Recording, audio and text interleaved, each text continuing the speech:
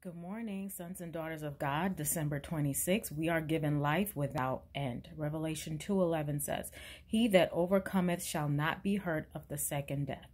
The wages of sin is death, but the gift of God is eternal life through Jesus Christ our Lord.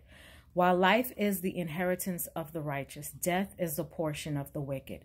Moses declared to Israel, I have set before you this day life and good, and death and evil. The death referred to in these scriptures is not that pronounced upon Adam, for all mankind suffer the penalty of his transgression. It is the second death that is placed in contrast with everlasting life. In consequence of Adam's sin, death passed upon the whole human race. All alike go down into the grave, and through the provisions of the plan of salvation, all are to be brought forth from their graves. There shall be a resurrection of the dead, both of the just and unjust. For as in Adam all die, even so in Christ shall all be made alive. But a distinction is made between the two classes that are brought forth. All that are in the grave shall hear his voice and shall come forth, they that have done good unto the resurrection of life, and they that have done evil unto the resurrection of damnation.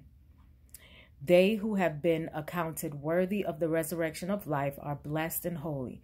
On such the second death hath no power, but those who have not, through repentance and faith, secured pardon, must receive the penalty of transgression.